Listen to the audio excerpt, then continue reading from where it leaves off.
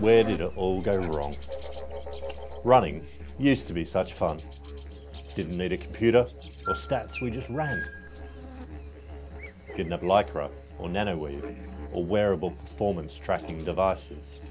We just had legs. It's 35 years since KangaROOS were born, but people have lost their way. They've let the spirit of running be taken over by big brand science.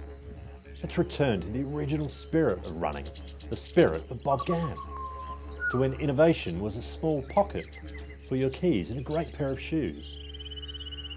This is a wake up call to sneaker wearing free spirits everywhere.